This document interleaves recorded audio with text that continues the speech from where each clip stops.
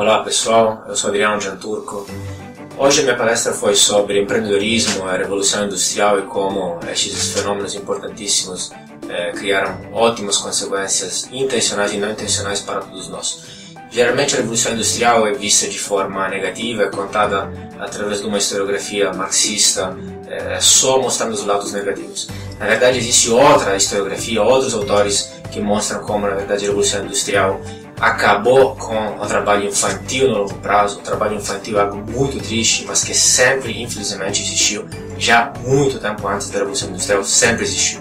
Então a Revolução Industrial, na verdade, a longo prazo, acabou com, com o trabalho infantil. A Revolução Industrial criou também o conceito de juventude, que nós hoje gozamos tanto assim. Nós hoje temos jovens que ainda são jovens para poder curtir a vida, se divertir, mas ainda não são tão adultos para ter todos os deveres dos adultos. A Revolução Industrial criou também, nos deu o luxo do tempo livre, o tempo livre que é, melhora a nossa vida, que nos permite estar aqui, nos reunir e falar de coisas importantes ou, ou menos importantes. É, o ponto é que mais eh, as sociedades ficam ricas e mais se afastam das fontes das riquezas, do processo de produção da riqueza.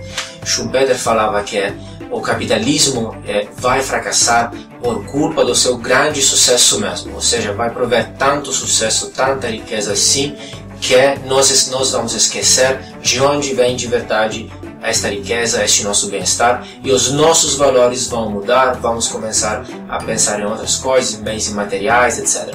E é, a mesma, mesma lógica, mais ou menos, era aquela de, de John Adams, segundo o presidente dos Estados Unidos, quando falava que eu quero estudar guerra para que meu filho possa estudar negócios, para que minha neta possa estudar letras e artes.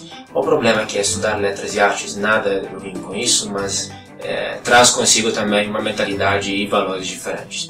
ありがとう。